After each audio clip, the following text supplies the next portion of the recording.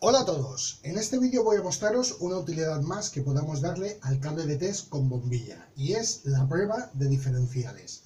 Aparte de todo lo que podemos comprobar con el cable de test, ya sean condensadores, resistencias y multitud de elementos que os mostré en un vídeo anterior, os aconsejo que lo veáis, pues una utilidad más que podemos darle es la comprobación de diferenciales. Por supuesto que para comprobar un diferencial no hace falta tener montado todo este tinglado que nos complica la vida, como más de uno podéis opinar. Pero si lo tenemos, que lo hemos construido para darle utilidad, ¿por qué no darle una utilidad más comprobando los diferenciales? Si tenemos que varios pendientes de instalar y queremos probar los mismos. Para probar un diferencial es tan sencillo como conectarle dos cables de entrada de alimentación, conectarlos a un enchufe o tenerlo en un cuadro eléctrico, levantar la palanca y si el diferencial está en buen estado, la prueba básica es pulsar y la palanca caerá. Pues lo mismo podemos probarlo con el cable de test con bombilla. Claro que un diferencial puede tener otros problemas, pero bueno, la prueba básica es la típica del botón pulsador. Si con el botón el diferencial ya no salta, ya es el primer indicativo de que el mismo está averiado. Lo dicho, una comprobación básica que se puede hacer añadida a todo lo que podemos probar con el cable de test. ¿Cómo la realizaríamos? Lo primero que hacemos es seleccionamos para hacer las dos eh, escalas o para poderlo comprobar de dos maneras diferentes. Sería primero con la bombilla de 42 vatios y segundo con la bombilla de 15 vatios. Por lo tanto, primero seleccionamos la de 42. Tenemos desconectado, por lo tanto, si tocamos las puntas de test no hay ningún riesgo, no hay ningún peligro. Vamos en este caso, que no lo he comentado, a comprobar un diferencial de 30 miliamperios, tanto este como este son de 30 y veremos una pequeña diferencia que hay con el de 300 miliamperios, con el de 0,3 amperios. Primeramente alimentamos nuestro diferencial. Encendemos el conjunto, vemos que funciona el cable de test, levantamos la palanca del diferencial y si pulsamos el botón tiene que saltar el mismo. Lo estamos comprobando con la bombilla de 42 vatios. Seleccionamos la bombilla de, 9 de 15 vatios, la pequeña.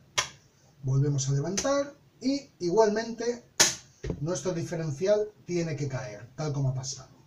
Vamos a comprobar el otro, veremos que hace exactamente lo mismo.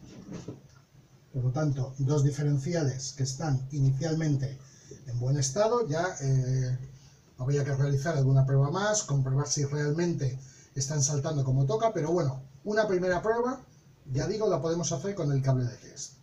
Alimentamos, colocamos la bombilla de 42, probaremos nuestro diferencial, igualmente salta, igual que el otro.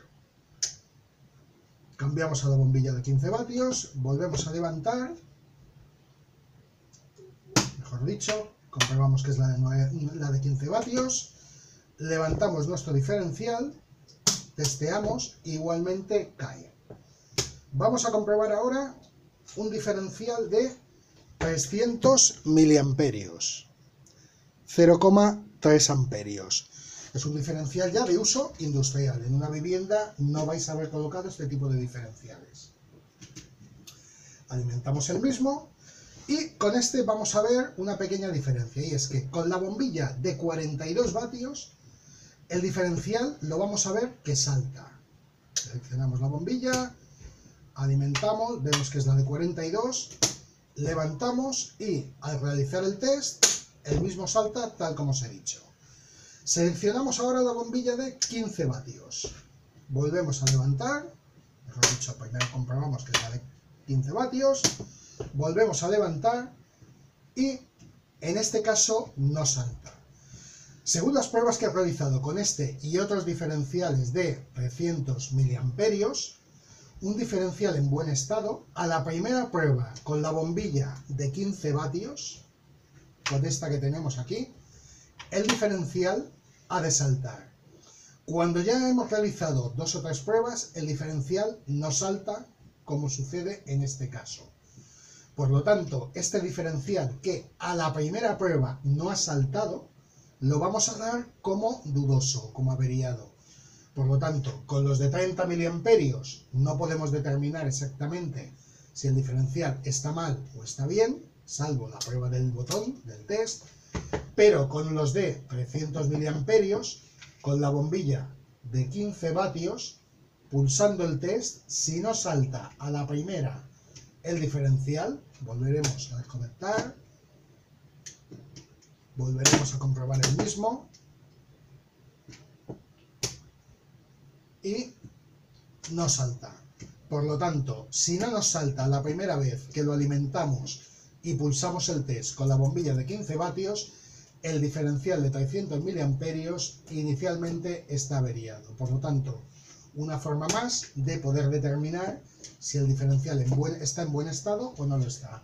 Con los de 30 miliamperios solo podemos probar el botón de test.